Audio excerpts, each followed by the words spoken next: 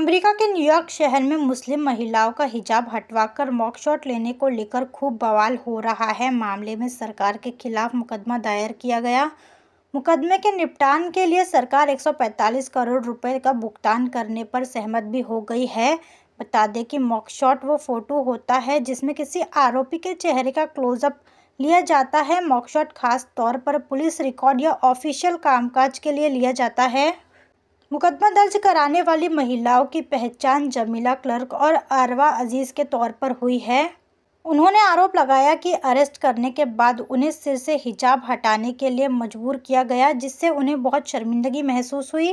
America media reports के मुताबिक, जमीला के पति ने झूठा केस बनाकर उसे अरेस्ट करवाया। आरोप है कि गिरफ्तारी के दौरान पुलिस अधिकारियों ने हिजाब न हटाने पर जमीला पर मुकदमा चलाने की धमकी दी। इधर आरवा को भी कथित तौर पर किसी फर्जी मामले में अरेस्ट किया गया था।